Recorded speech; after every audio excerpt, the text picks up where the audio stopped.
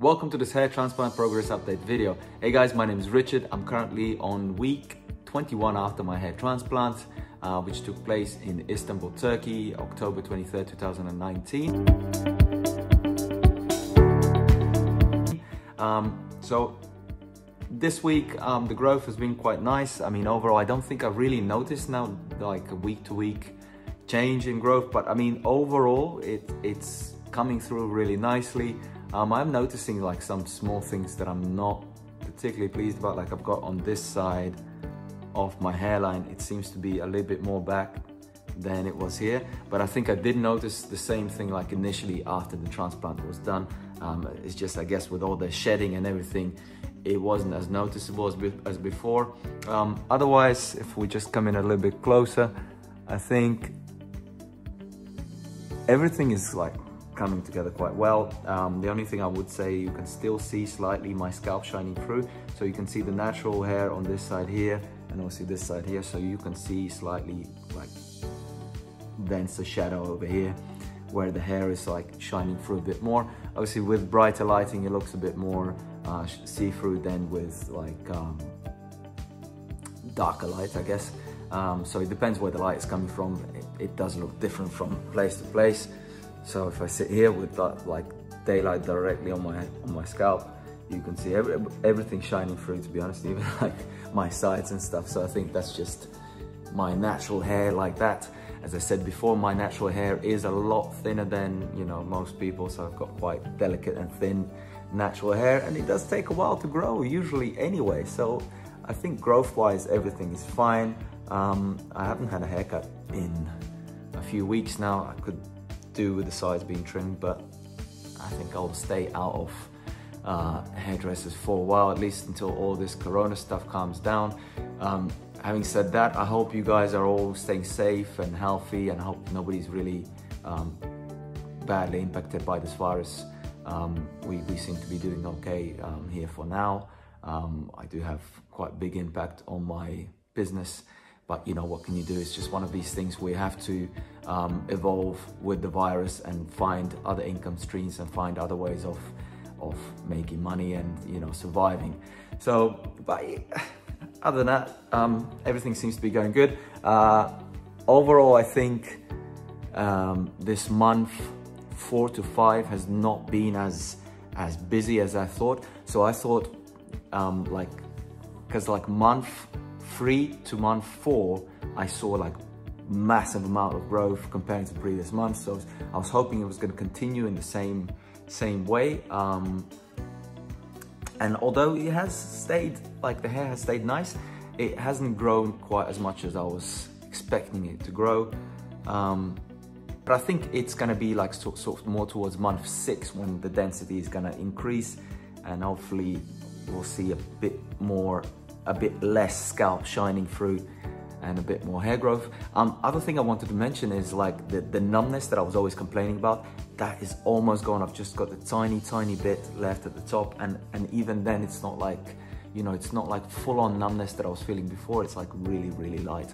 Um, I did get some weird stabbing sharp pains in my head, but I think that's just like, because stuff is still, as I like to say, brewing underneath the scalp and stuff is still going on, so that might not be a bad sign. Um, but other than that, I, am not gonna do like the usual 360 thing because uh, the donor area is pretty much recovered. There's nothing there to see. But if, if you take a look,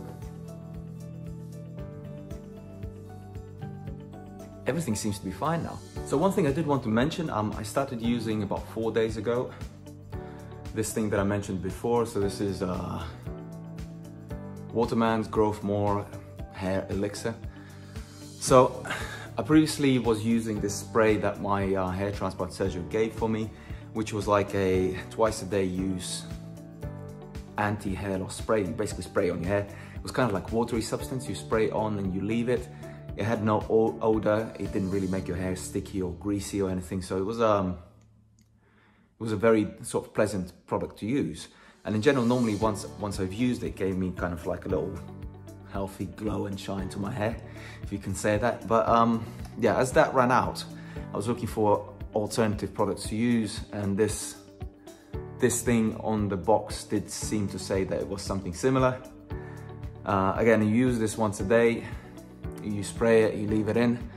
I don't like it as much as I like the other one because this one, when you apply it, sort of comes out more soapy and thick. It's kind of like slimy and gooey kind of substance that you rub, rub into your scalp. Um, but yeah, it's, it's okay, I guess, but uh, I don't think it's gonna be one of those things that I'm gonna stick to. I think once I run out of this bottle, I don't think I'm gonna use this product. I'm gonna try to find something that I like a little bit better.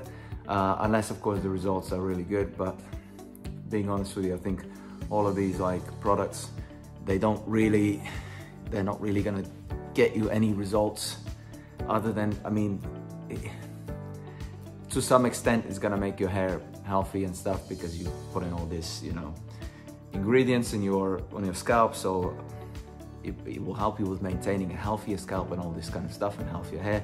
But it's, it's not going to be like a miracle growth formula where you're going to wake up one morning with an afro if you've got like thin hair like mine. That's just unlikely to happen but I'll give this thing a go and I'll, I'll see I guess if if after I'm finished this bottle I really have some like like amazing results um, then yeah I guess I would stick to it but from what I've experienced so far, the last few days, it's just not not that pleasant to use.